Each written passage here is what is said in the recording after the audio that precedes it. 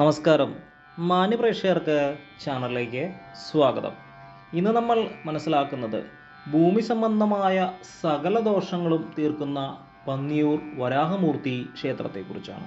അതുപോലെ ഇവിടെ വെച്ചാണ് പെരുന്തച്ചൻ പെരുന്തച്ചന്റെ ഉളിയും മുഴക്കോലും ഉപേക്ഷിച്ചതെന്ന് പറയപ്പെടുന്നു. ആ ക്ഷേത്രം എവിടെയാണെന്നുള്ളതും അതിന്റെ വിശേഷങ്ങൾ എന്തൊക്കെയാണെന്നുള്ളത് നമുക്ക് നോക്കാം. എല്ലാവരും വീഡിയോ മുഴുവനായിട്ടും കാണാൻ ശ്രമിക്കുക. ആധ്യാത്മിക സംബന്ധമായ കൂടുതൽ അറിവുകൾക്കും വീഡിയോകൾക്കുമായി ചാനൽ സബ്സ്ക്രൈബ് ചെയ്യുക. ഒപ്പം ബെൽ ബട്ടൺ കൂടി പ്രസ് ചെയ്യുക. പാലക്കാട് ജില്ലയിലാണ് പന്നിയൂർ വരാഹമൂർത്തി ക്ഷേത്രം സ്ഥിതി ചെയ്യുന്നത്. പരശുരാമനോളം നീളുന്ന ഐതിഹ്യത്തിന്റെ പശ്ചാത്തലമുണ്ട് ഈ മഹാക്ഷേത്രത്തിന് ആദ്യകാല മലയാള ബ്രാഹ്മണരുടെ കുടിയേറ്റത്തോളം പഴക്കമുണ്ട് ചരിത്രത്തിന്. പെരുന്തച്ചൻ എന്ന ദിവ്യന്റെ സ്മൃതികളുടെ സ്പന്ദനങ്ങളുമുണ്ട് ഈ മൺതരികളിൽ. മഹാനായ ശില്പി തന്റെ ഉളിയും മുഴക്കോലും എന്നേക്കുമായി ഇവിടെ ഉപേക്ഷിച്ചു പോയെന്നാണ് വിശ്വാസം. അതുപോലെ വേനലിലും പച്ചപ്പ് സൂക്ഷിക്കുന്ന വഴി അവസാനിക്കുന്നത് തണൽ വിരിക്കുന്ന അരയാലിന്റെ മുന്നിലാണ്. പത്തേക്കറോളം വിശാലമായതാണ് ക്ഷേത്രപറമ്പ്. മതിലിന് സമീപത്ത് തന്നെ വലിയൊരു ജലസംഭരണി കാണാൻ സാധിക്കും. പന്നിയൂർ ചിറ എന്നറിയപ്പെടുന്ന ഈ കുളം പ്രദേശത്തെ പ്രധാന ജലസ്രോതസ്സുകളിൽ ഒന്നാണ്. മത്സ്യതീർത്ഥമെന്നും ഇതിന് പേരുണ്ട്. മുന്നോട്ട് നടക്കുമ്പോൾ ശ്രീകോവിൽ. കിഴക്കോട്ടാണ് ദർശനം. വരാഹമൂർത്തിയാണ് പ്രതിഷ്ഠ. കേരളത്തിൽ വരാഹമൂർത്തി പ്രതിഷ്ഠയുള്ള രണ്ട് ക്ഷേത്രങ്ങളേ ഉള്ളൂ. ഒന്ന് തിരുവനന്തപുരത്തെ ശ്രീ വരാഹമൂർത്തി ക്ഷേത്രമാണ്. ലക്ഷ്മി വരാഹമാണ് അവിടുത്തെ ഉപാസനാമൂർത്തി. പാലക്കാടുള്ള ഈ വരാഹമൂർത്തി ക്ഷേത്രത്തിൽ ഭഗവാൻ ഭൂമിദേവിയെ ഇടതു തുടയിലിരുത്തി ഭക്തർക്ക് അനുഗ്രഹം ചൊരിയുന്നു. പരശുരാമൻ നാലായിരം വർഷം മുമ്പ് പ്രതിഷ്ഠിച്ചതാണ് ഈ ക്ഷേത്രം. ആദിവരാഹമൂർത്തി വിഗ്രഹമായിരുന്നു അദ്ദേഹം പ്രതിഷ്ഠിച്ചതെന്നാണ് വിശ്വാസം. അഞ്ജനത്തിന്റെ നിറം പോലെ നീലക്കറുപ്പോടുകൂടിയ ശരീരം. തേറ്റയ്ക്ക് മീതെ ഭൂമിയെ ഉയർത്തിപ്പിടിച്ച് ഗ്രാണിക്കുന്നതും നാല് കൈകളിൽ ശംഖ് ചക്രം ഗദ പങ്കജങ്ങൾ എന്നിവ ധരിച്ചതുമായിരുന്നു ആ വിഗ്രഹം. ഇപ്പോഴുള്ള വിഗ്രഹം ആയിരത്തി എഴുന്നൂറ്റി അമ്പത്തെട്ടിൽ പുനഃപ്രതിഷ്ഠ നടത്തിയതാണത്രേ. പുഴക്കര ചേനമംഗലത്ത് പുഴക്കര ചേനാസ് നാരായണ നമ്പൂതിരിയായിരുന്നു തന്ത്രി. വരാഹമുഖവും മനുഷ്യ ശരീരവുമുള്ള ഭഗവാൻ ആദിശേഷന്റെ പണത്തിൽ വലതുകാൽ ചവിട്ടി വലതുകാൽ മുട്ടുമടക്കി ഇടതു തുടമയിൽ ഭൂമി ദേവിയെ ഇരുത്തി ഇടതു കൈയാൽ ദേവിയെ ഒതുക്കി വില്ല് പിടിച്ച രൂപമാണിപ്പോൾ. പ്രതിഷ്ഠാ സമയത്ത് വലംബിരി ശംഖും ഹിരണ്യഗർഭ സാളഗ്രാമവും നൽകിയത് ആധുനിക തിരുവിതാംകൂറിന്റെ സൃഷ്ടാവായ സാക്ഷാൽ അനീരൻ തിരുനാൾ മാർത്താണ്ഡവർമ്മയാണ്. ഈ ക്ഷേത്രത്തിലെ പ്രധാന വഴിപാടാണ് മണ്ണ് പൂജ അഥവാ ഭൂമി പൂജ മണ്ണ് പൂജയ്ക്കായി ധാരാളം ഭക്തരാണ് ഇവിടെ എത്തിച്ചേരുന്നത്.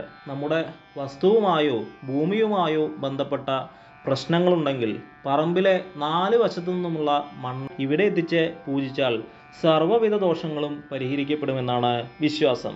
പൂജയ്ക്ക് ശേഷം മണ്ണ് ആ ഭൂമിയിൽ തന്നെ നമ്മളെടുത്ത ആ സ്ഥലത്ത് തന്നെ തിരികെ നിക്ഷേപിക്കണം. പിന്നീട് പ്രശ്നങ്ങൾ പരിഹരിക്കപ്പെട്ടു കഴിഞ്ഞാൽ കാര്യസിദ്ധി പൂജ നടത്തണം. ധാരാളം ഭക്തജനങ്ങളാണ് ഇതിനായിട്ട് ക്ഷേത്രത്തിലേക്ക് എത്തിച്ചേരുന്നത്. അതുപോലെ ഈ ക്ഷേത്രം നിർമ്മിക്കാനുള്ള നിയോഗം പെരുന്തച്ചനായിരുന്നു അത്രേ. അദ്ദേഹം ഓരോന്ന് ചെയ്യുമ്പോഴും ഊരാളന്മാർ ഭേദഗതി നിർദ്ദേശിക്കുമായിരുന്നു അത്രേ. ഒടുവിൽ മനം വെടുത്ത അദ്ദേഹം പന്നിയൂർ ക്ഷേത്രം പണി തീരില്ലെന്ന് ശപിച്ച് തന്റെ പുളിയും മുഴക്കോലും ഇവിടെ ഉപേക്ഷിച്ചു പോയതാണ് ഐതിഹ്യം. ഒറ്റക്കല്ലിൽ കൊത്തിയതാണ് മുഴക്കോൽ.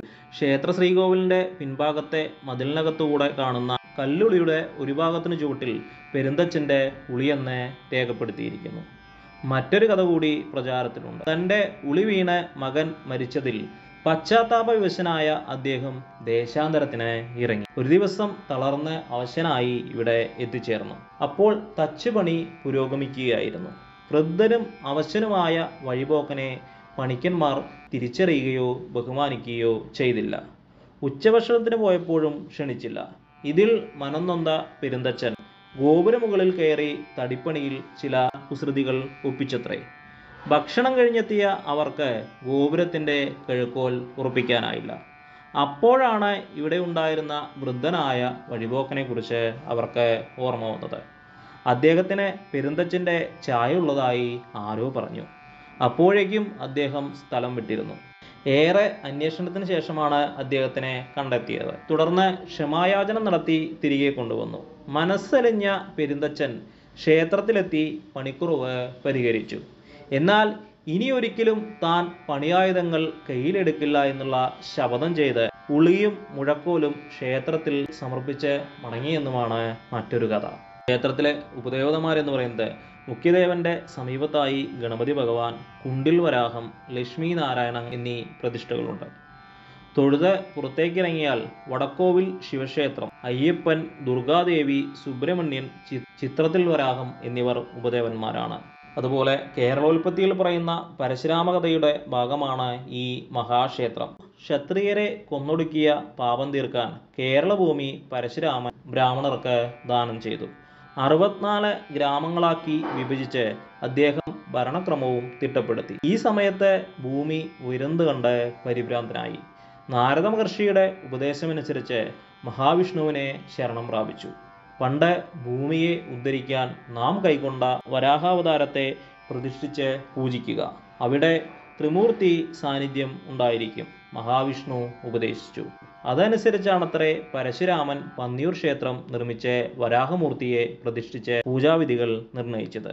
ക്ഷേത്രത്തിന്റെ തെക്ക് വശത്തായി മത്സ്യതീർത്ഥവും നിർമ്മിച്ചു. ഇനി നമുക്ക് ക്ഷേത്രത്തിലെ പ്രധാന വിശേഷ ദിവസങ്ങൾ നോക്കാം. മകരമാസത്തിലെ അശ്വതി നക്ഷത്രത്തിൽ വരാഹമൂർത്തിയുടെയും ഭഗവാൻ പരമശിവന്റെയും പ്രതിഷ്ഠാ ദിനം. അതുപോലെ പൂയം നക്ഷത്രത്തിൽ തൈപ്പൂയ ആഘോഷം സുബ്രഹ്മണ്യ സ്വാമിക്ക് അതുപോലെ വരാഹ ജയന്തി ആഘോഷം. ദിനം മാസത്തിലെ അനീഴം നക്ഷത്രത്തിൽ ഭഗവതിയുടെയും സുബ്രഹ്മണ്യ സ്വാമിയുടെയും പ്രതിഷ്ഠാ ദിനം. കർക്കിടക മാസത്തിൽ ഭഗവതിക്ക് ഐശ്വര്യമന്ത്രലക്ഷാർച്ചന അതുപോലെ ചിങ്ങമാസത്തിൽ അഷ്ടമി രോഹിണി വൃശ്ചിക മാസത്തിൽ ശാസ്താവിനെ ആദ്യത്തെ ശനിയാഴ്ച അഖണ്ഡനാമയജ്ഞം. ധനുമാസത്തിൽ ആദ്യത്തെ തിങ്കളാഴ്ച ഭഗവാൻ പരമശിവന് ആയിരം ഗുണം ആടൽ. ധനുമാസത്തിലെ ആദ്യ ബുധനാഴ്ച കുചേല ദിനം. മണ്ഡലമാസ സമാപന നാളിൽ ലക്ഷാർച്ചന നിറമാല എന്നിവയൊക്കെയാണ് ഇനി നമുക്ക് ക്ഷേത്രത്തിലെ പ്രധാന വഴിപാടുകൾ എന്തൊക്കെയാണെന്നുള്ളത് നോക്കാം. ഏറ്റവും പ്രശസ്തമായ വഴിപാടാണ് അഷ്ടസിദ്ധി പൂജ. പണമടച്ച് മുൻകൂർ ബുക്കിംഗ് ക്രമത്തിലാണ് അഷ്ടസിദ്ധി പൂജ നടത്തുന്നത്. മറ്റൊരു പ്രധാന വഴിപാടാണ് ഐശ്വര്യപൂജ. അതുപോലെ മലയാള മാസത്തിലെ ആദ്യ ബുധനാഴ്ചകളിൽ അപ്പനിവേദ്യം മറ്റൊരു പ്രധാന വഴിപാടാണ്. ലക്ഷ്മി നാരായണ പൂജ രുക്മിണി കൃഷ്ണ പൂജ അഭീഷ്ടവരദാന പൂജ ദുർഗാദേവിക്ക് സാരസ്വത പൂജ തുടങ്ങിയവയും പ്രധാനം തന്നെ. ഉദയാസ്തമന പൂജയും ഭൂമി പൂജയും ഏറെ വിശേഷപ്പെട്ടതാണ്. ഇനി നമുക്ക് ക്ഷേത്രത്തിലേക്ക് എപ്രകാരമാണ് എത്തിച്ചേരാൻ സാധിക്കുക നോക്കാം. തൃശ്ശൂർ ഭാഗത്ത് നിന്നും കുണ്ടളത്ത് വന്ന് എടപ്പാളിൽ എത്തിയാലും അതുപോലെ കുറ്റിപ്പുറത്തെ ട്രെയിനിൽ ഇറങ്ങിയാലും കുമ്പിടിയിലെത്താം. കോഴിക്കോട്ട് നിന്ന് കുറ്റിപ്പുറത്തെത്തിയാലും കുമ്പിടിയിലേക്കുള്ള ബസ് കിട്ടും. പാലക്കാട്ട് നിന്ന് വരുന്നവർക്ക് ഒറ്റപ്പാലം കൂറ്റനാട് തൃത്താല വഴി കുമ്പിടിയിലെത്താം. തിരുവനന്തപുരം ഭാഗത്തുനിന്ന് വരുന്നവർ കുറ്റിപ്പുറം റെയിൽവേ സ്റ്റേഷനിൽ ഇറങ്ങിയാൽ കുമ്പിടിയിലേക്കുള്ള ബസ് കിട്ടും. സ്വന്തം വാഹനത്തിൽ വരുന്നവർക്ക് എടപ്പാളിൽ നിന്നും കൂറ്റനാട് തൃത്താല റോഡിലൂടെ ക്ഷേത്രത്തിലേക്ക് എത്തിച്ചേരാം. അപ്പോൾ എല്ലാവർക്കും പന്നിയൂർ വരാഹമൂർത്തി ക്ഷേത്രത്തെക്കുറിച്ച് മനസ്സിലായി എന്ന് കരുതുന്നു. സാധിക്കുമെങ്കിൽ എല്ലാവരും ഇങ്ങനെയുള്ള പുണ്യപുരാതന സ്ഥലങ്ങളൊക്കെ സന്ദർശിക്കുക. ഏവർക്കും നല്ലത് മാത്രം വരട്ടെ എന്ന് ആശംസിക്കുന്നു. നന്ദി നമസ്കാരം.